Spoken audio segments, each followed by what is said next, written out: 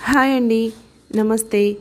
ధనికొండ హనుమంతరావు గారు రచించిన దంపతులు. ఈ కథ విందాం. ప్రకాశ్రావు ఇంట్లో రాత్రి తొమ్మిది గంటల వేళ ప్రకాశ్రావు అతని భార్య లీలావతి మాట్లాడుకుంటున్నారు. మరి ఎలాగండి? అంది లీల. నన్ను ఏం చేయమంటావు? మందులకు మాకులకు ఖర్చు పెట్టేసరికి నా దుంప తెగుతోంది. మెళ్ళలో ఏమీ లేకుండా బయటకు వెళ్ళడం అంటే మరేమీ పర్వాలేదు. ఫలానా ఆయన భార్య అని ఎవరన్నా అనుకున్నా ఆ చెడ్డ పేరు నాకే గాని నీకు కాదులే. పోనీ మీరేమన్నారు? సంవత్సరం పూర్తి కాగానే గొలుసు చేయిస్తాను అన్నారా? సంవత్సరము పోయింది మరో అర్ధ సంవత్సరం కూడా గడిచిపోయింది. ఎప్పుడు అడిగినా ఇంకా ఆగమంటారు. బంగారం ఖరీదు పెరిగింది అంటారు. ఈ ఏడంతా పోయాక గొలుసులు ఏం చేసుకోనండి? అప్పుడు అస్సలు అక్కర్లేదు. ఇప్పుడు కాస్త ఓపిక పట్టావంటే నాలుగు వందలు ఆదా చేసిందని అవుతావు అన్నాడు ప్రకాశ్రావు. మీరు మహా ఆదా చేస్తున్నట్లు.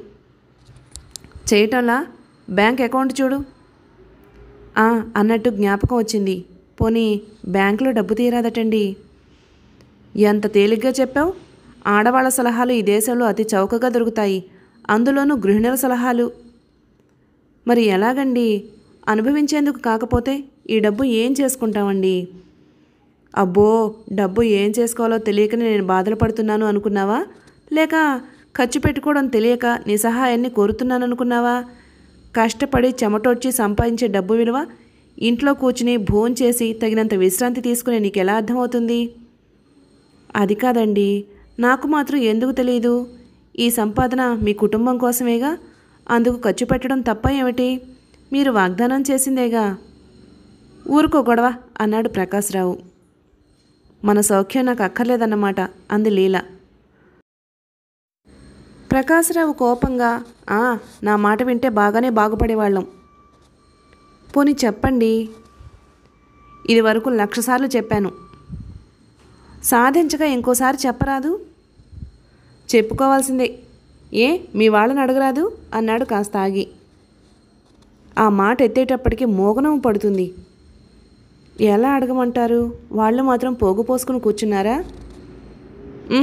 మరి నేనే ఇక్కడ పోగు పోసుకుంది. అని అన్నానటండి. అనడం ఒకసారి ఖర్చు పెట్టించడం ఒకసారినా? పోనీ మీరు ఆలోచించండి మా వాళ్ళ సంసారం అంతా చితికిపోయింది కదా. ఈ స్థితిలో వాళ్ళని అడిగేందుకు నోరు రావద్దండి. ఎవరి కష్టాలు వాళ్ళకుంటాయి. మన కష్టాలను ఎవరితో చెప్పుకుంటాం? ఇదేమంత పెద్ద కష్టం అండి అంది లీలావతి. నీ కంటికి ఇది గొప్ప విషయమా? మీ వాళ్ళ ఇంటిదైతే గోరంతలు కొండంతలుగా కనిపిస్తాయి కానీ అన్నాడు ప్రకాశ్రావు. లీల పౌరుషంగా మాట్లాడితే మా వాళ్ళ మీదకి వస్తారు కదా అంది. అబ్బో కోపం కూడా వచ్చింది కాబోలు. ఏ మీ వాళ్ళు చేసినవన్నీ బాగున్నాయే? నేనంటేనే తప్పు వచ్చిందన్నమాట వాళ్ళు ఏం చేశారండి? అంది లీలావతి. ఏం చేశారా? కట్నం సొమ్ము ఇంతవరకు ఇవ్వరే ఎప్పుడు అడిగినా ఇదిగో అదిగో అని గడుపుతారు కదా. ఏ అసలు ఇవ్వలేని వాళ్ళు మాట ఇవ్వడం దేనికి?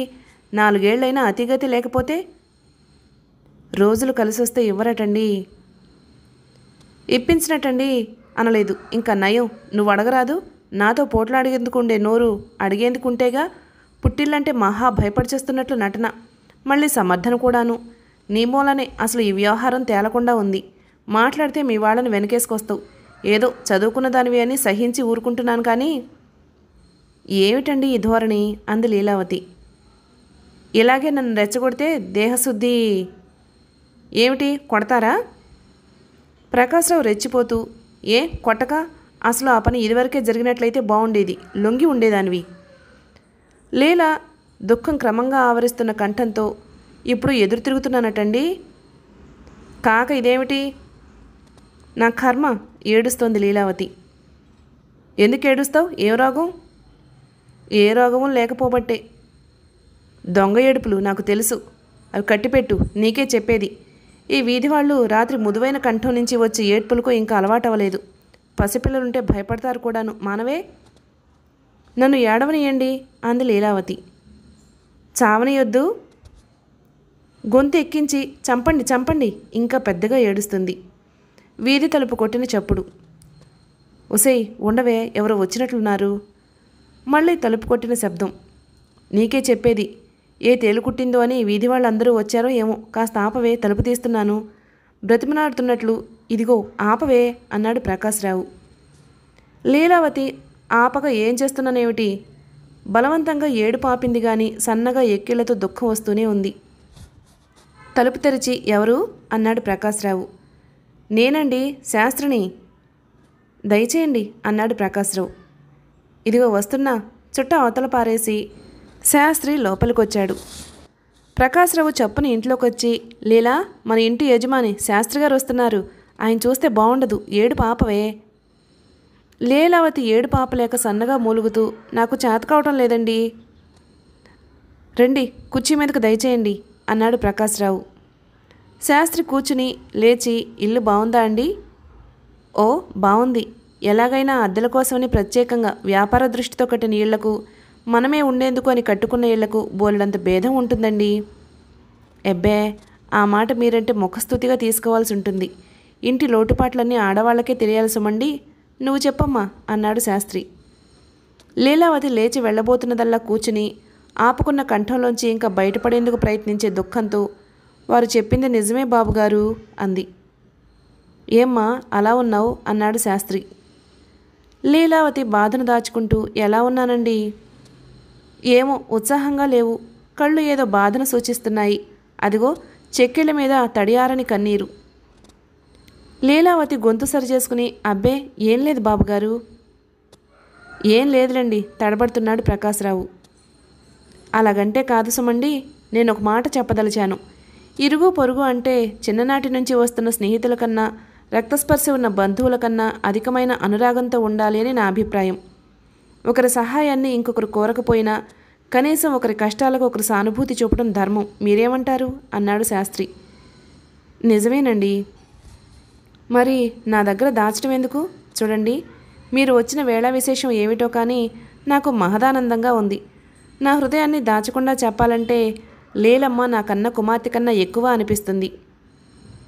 లీలావతి నవ్వేందుకు ప్రయత్నిస్తూ మీరు చాలా దయగలవారు. దయ్యేమిటమ్మా? మీ దంపతుల్ని చూస్తుంటే మీలాంటి వాళ్ళు ప్రపంచంలో ఉండి మాలాంటి ముసలి వాళ్ళకు శాంతి ఇస్తున్నారేమో అనిపిస్తుంది. మీ దాంపత్యం చూస్తే నాకు గతించిన జీవితం అంతా జ్ఞాపకం వస్తుంది. ఇంతకు చెప్పమ్మా మీ ఇద్దరి మనసుల్లోనూ ఏదో కలకలం బయలుదేరిన మాట నిజం. అది మీ ఇద్దరిని బాధిస్తుంది అనేందుకు మీ ముఖాలే సాక్ష్యం ఇస్తున్నాయి. చెప్పరు కదూ? ఇద్దరూ మాట్లాడలేదు. నన్ను ఇంకా అనుమానిస్తున్నారు కదూ? క్షణమాగి పోనీ నేను మాత్రం మిమ్మల్ని శ్రమ పెట్టడం దేనికి? నిజం చెప్పాలంటే నాకు జరిగిందంతా తెలుసు. నేను అంతా వింటూనే ఉన్నాను అన్నాడు శాస్త్రి. దంపతులు ఒకరి ముఖాలు ఒకరు చూసుకున్నారు. కానీ మీ ఇద్దరికన్నా ఈడులోనూ అనుభవంలోనూ పెద్దవాణ్ణి. పెద్దవాడనే గౌరవం ఉన్నా మీరు నాకు ఇవ్వకపోరు. ఒక్క సంగతి నా జీవితం మీకేమీ తెలియదు కదూ? నాకు బంధువులంటే మన చుట్టూ రోజు తిరిగే వాళ్ళే సుమండి. అసలు సంగతి ఇలాంటి సంఘటనలే నన్ను జీవితంలో అణగదొక్కాయి చెప్పనా? ప్రకాశ్రావు నీరసంగా అన్నాడు. శాస్త్రి గారు బాధగా నిట్టూచి అది ఇరవై సంవత్సరాల నాటి మాటమ్మా. నాకు కూడా భార్య ఉండేది. మొదట్లో మా దాంపత్య జీవితం చాలా సౌఖ్యంగా సాగింది. కానీ రాను రాను మా ఇద్దరిలోనూ అనేక భేదాభిప్రాయాలు కలిగాయి. ఒక విషయం అని చెప్పేందుకు వీల్లేదు. భోజన పదార్థాల దగ్గర నుండి నగల దాకా ప్రతిదీ చర్చనీయాంశమే. గంటకు ఒకసారైనా ఏదో తగు మా మధ్య జరుగుతూనే ఉండేది. పురుషుణ్ణి సంపాదనాపరుణ్ణి నా మీదనే ఆమె జీవితమంతా ఆధారపడి ఉంది అనే అహంతో ఎలాగైనా ఆమె పంతాలు నెగ్గనేయకుండా చూసి అధికారాన్ని చెలాయించాలి అని నేను ప్రయత్నించేవాణ్ణి. పాపం ఆమె కూడా పెద్దింటి ఆడపడిచేనాయే. ఎంతకాలమని నా అధికారాలకు దుర్వినియోగం చేసే భర్తృత్వానికి లొంగపడి ఉండగలదు? ఇంతగా అలవాటైపోయిన ఆ కీచులాటలు మానుకోవడం కూడా నాకు పెద్ద సమస్య అయిపోయింది. ఏదో విధంగా ఆమెను బాధిస్తేనే కానీ నాకు తృప్తుండేది కాదు. ఇప్పుడు తలుచుకుంటే మానవ రూపాన శత్రువునైనా అలా బాధించగలిగి ఉండేవాడినా అనిపిస్తూ ఉంటుంది. కాలంతో పాటే వయసుతో పాటే పెరగవలసిన అనురాగానికి మారుగా మా మధ్య పెరుగుతూ వచ్చిన అర్థం చేసుకోలేని వ్యక్తిత్వం మాలో కనపడని అగ్నిని క్రమంగా రగులుకొల్పింది కుటుంబ వైరం కన్నా ఘోరమైన బాధ ఈ లోకంలో ఇంకోటి లేదు. వడ్ల గింజలో బియ్యపు గింజ తగులను ఆమె భరించలేకపోయింది. సామాన్య స్త్రీ చూపలేని ఎంత సహనాన్ని చూపినా ప్రయోజనం లేకపోవడం వల్ల ఆమె చివరకు విసిగి ఏం చేసిందనుకున్నారు? ప్రకాశ్రావు ఆతృతతో ఏం చేసింది? అన్నాడు. శాస్త్రి శబ్దమయ్యేటట్టు నిట్టూచి నన్ను శిక్షించింది. ఇంకే విధంగా శిక్షించినా నేను భరించగలిగి ఉండేవాణ్ణి. కానీ ఆ శిక్ష ఎలా శిక్షించింది బాబుగారు? అంది లీలావతి. ఎలాగేమిటి తల్లి? మళ్ళీ ఈ జన్మానికి మా మధ్య ఏ విధమైన పోట్లాటలు మాట్లాటలు లేకుండా చేసిందమ్మా? అంటే మీకు ఇంకా తెలియలేదా? నన్ను ఈ లోకానికి ఒంటరివాణ్ణిగా అప్పగించింది. ఈ బాధలతో తనకి పని లేదు అన్నట్లు ఆత్మహత్య. ప్రకాశ్రావు లీలావతి ఆశ్చర్యంతో అన్నారు. ఏం చెప్పుకోను? తర్వాత ఏమనుకుని ఏం ప్రయోజనం? ఆమె శవానికి ఎన్ని క్షమాపణలు చెప్పుకున్నానని ఎంత దీనంగా గొంతెత్తి ఏడ్చానని? తరువాత? మీరు ఊహించుకోండి ఆ స్త్రీకి ఉన్న పట్టుదల ఇంత పౌరుషంగా మూతి మీద వేసంతో ఎన్నాళ్ళు బతుకుని చూసినా నాకు ఎన్నడూ కలగలేదు. తరువాత తలుచుకుంటే నా అంత దుర్మార్గుడు నీచుడు పాపి హంతకుడు లోకంలో ఉంటాడా అనిపించింది. కాస్త తప్పును ఈ విజ్ఞానంతో గంపంతగా విమర్శించుకుని ఆ బాధపడలేక తిరగబడ్డ అభిమానాన్ని ఒక్క మార్గాన్ని చూపుకోగలిగిన ఆమె అంతా మీ తప్పు కాదనుకుంటాను అన్నాడు ప్రకాశ్రావు ఆ మాట నేను ఎన్నడూ కనీసం అనుకోలేకపోయాను. దంపతుల్లో ఎవరి తప్పైనా ఉండనివ్వండి. ఎవరికి వారు తమ్మంతట తామే సర్దుకుపోవడాన్ని నేర్చుకోకపోతే ఆ కాపురం నరక సమానమేనండి. నిజంగా ఆమెదే తప్పైనా నేను మూఢుణ్ణి కాకపోతే సర్దుకోకూడదు? వెధవాహం! నన్ను రేపే ఈ స్థితికి లాగింది. మీరు నమ్ముతారో లేదో కానీ నా వల్ల మా వంశానికి చుట్టుకున్న ఈ కళంకం ఒక విధంగా నేనే ఆత్మహత్యకు కారణం అని నన్ను బాధించే ఈ కల్మషాత్మకత నాకు జీవితంలో దేని మీద ఇష్టం లేకుండా చేసింది. ఈ అంధకార జీవితంలోనే ఎలా బతకగలుగుతున్నానో నాకే ఆశ్చర్యంగా ఉంటుంది. వేదవ చిన్న చిన్న పోట్లాటలు ప్రణయకోపము అని భ్రమపడేవి. ప్రళయకోపమై జీవితాన్నే పాడు చేస్తూ ఉంటే ప్రకాశ్రావు గారు మీకు ఇంకా స్త్రీ అభిమానం తెలియలేదు. స్త్రీ సాహసిస్తే నాకు బాగా అర్థమైంది అన్నాడు ప్రకాశ్రావు. లీలమ్మ తల్లి దాంపత్యం సర్దుకుపోయేందుకు వీల్లేనిదైతే చూసావా నగతేమైందో? అన్నాడు శాస్త్రి. నిజమే బాబుగారు. అసలు నిజం చెప్పాల్సి వస్తే ఇవాళ మా పోట్లాటకు నేనే వారిని రెచ్చగొట్టానండి. పశ్చాత్తాపంగా అంది లీలావతి. కాదు శాస్త్రి గారు అనవసరంగా నేనే ఆమెను బాధించాను అన్నాడు ప్రకాశ్రావు. అంతే అలా అనుకుంటే పోయే. కాస్త ఆగి అబ్బా పదైనట్లుంది. చాలా శ్రమ పెట్టాను మరి. సెలవా? వెళ్ళిపోయాడు శాస్త్రి. పాపం జీవితంలో చాలా పెద్ద దెబ్బ తిన్నాడు అన్నాడు ప్రకాశ్రావు. ఎంత బాధపడుతున్నాడో పాపం అంది లీలావతి. ప్రకాశ్రావు కానీ లీలా నన్ను క్షమించు నా తప్పు తెలిసింది. చి ఊరుకోండి నేనే మిమ్మల్ని బాధ పెట్టాను. పోనీ ఇవాటి నుంచి ఇద్దరము భేదాభిప్రాయాలకు గురి కాకుండా ఉంటే? నేను కాదన్నానటండి మీ మాట వినేందుకు ఎప్పుడూ నేను సిద్ధమే. నేనును లీలా నువ్వు అసలు దేవతవి నేను అర్థం చేసుకోలేక? అలా అనకండి నేనే మిమ్మల్ని అర్థం చేసుకోలేక? పోనీలే ఇద్దరికి ఇప్పటికన్నా జ్ఞానోదయం అయింది. సరే లైట్ తగ్గించు పడుకుందాం. రెండు నెలలు గడిచాక ప్రకాశ్రావు ఇంట్లో రాత్రి ఎనిమిది గంటల వేళ లీలావతి నవ్వుతుంది. ఏమిటే ఇంటికి రాగానే నన్ను చూసి నవ్వుతున్నావు? ఏ నీకు నవ్వు తెప్పించే పనులు ఏమైనా చేశానా? బ్రతిమలాడుతున్నట్లుగా చెప్పు లీలా చెప్పవు? బ్రతిమలాడాలా? లీలావతి కష్టంతో నవ్వాపుకుంటూ ఉండండి చెప్తాను అలా కూర్చోండి. శాస్త్రి గారు మనను మోసం చేశారు. ఛా ఆయన మనల్ని కన్నబిడ్డల కన్నా ఎక్కువ ప్రేమతో చూస్తాడు అన్నాడు ప్రకాశ్రావు. లీలా పోని ఆయన అబద్ధమాడాడు తెలుసా? అంది. లీలా అలాంటి నిందలు ఆయన మీద మోపడం నిజమండి. నేను రుజువు చేస్తే? చెయ్యి అన్నాడు ప్రకాశ్రావు. రెండు నెలల కింద ఆత్మహత్య చేసుకున్న ఆయన భార్య మళ్ళీ బతికొచ్చింది అంది లీలావతి. నాకు కథలు చెప్తున్నావా? కలలు కంటున్నావా? కలేమిటండి? నేను ఆమెను చూశాను. సాయంత్రం ఆమెతో మాట్లాడాను. నేను నమ్మను అన్నాడు నవ్వి ప్రకాశ్రావు. నిజమండి ఆమె ఇవాళే పుట్టింటి నుంచి వచ్చింది. ప్రకాశ్రావు అనుమానిస్తూ మరి శాస్త్రి గారు అలా చెప్తారా? చెప్పారు. ఏం చెప్తే? కానీ ఆయన భార్య కూడా చాలా మంచిదండి. అన్నపూర్ణమ్మ గారు నన్ను ఎంత ఆదరించిందని? నిజమేనా? నిజం నిజం. నవ్వుతుంది లీలావతి.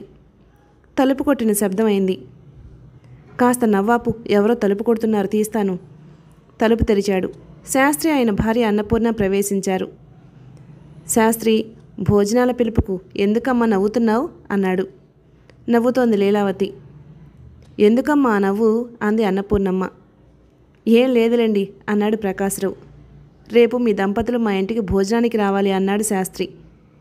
ఏమిటండి విశేషం? అంది లీలావతి నవ్వాపి. ఏముందమ్మా మీ పిన్ని మళ్ళీ బతికొచ్చింది? నవ్వుతున్నాడు. ప్రకాశ్రావు లీలావతి కూడా నవ్వు కలిపారు.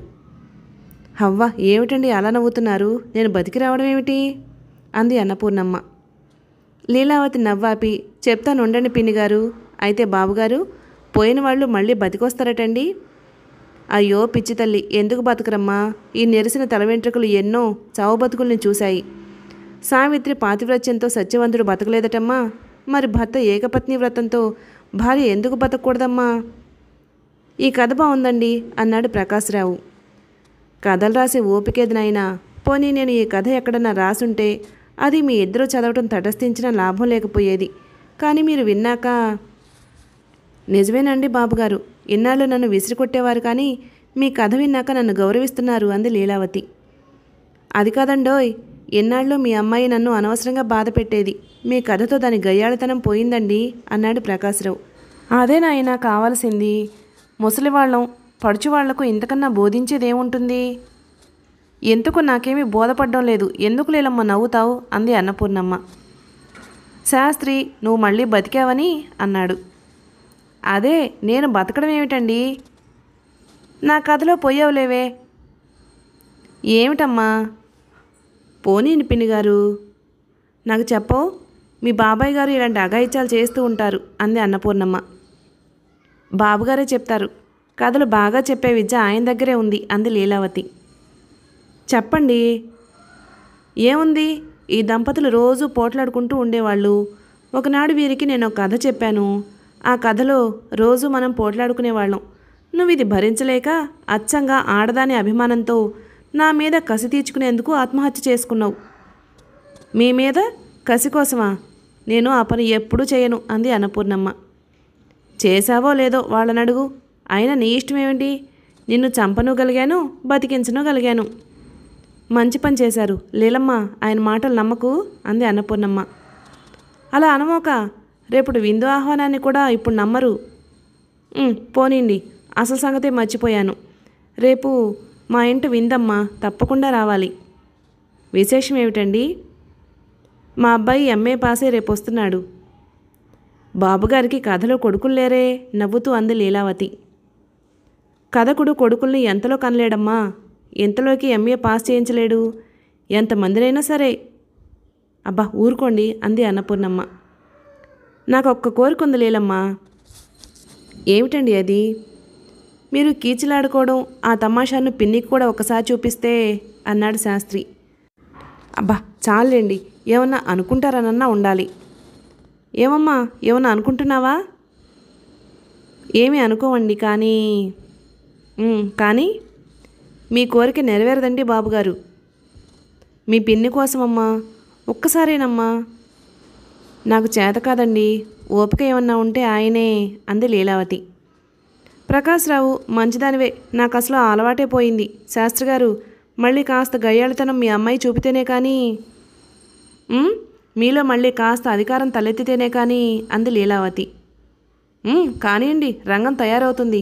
విని చాలా రోజులైంది. చెవులు తుప్పు పట్టున్నాయి అన్నాడు శాస్త్రి. కాదు కానీ బాబుగారు మీకు కోపం రాకుండా ఉంటే నాదో కోరుకుంది అంది లీలావతి.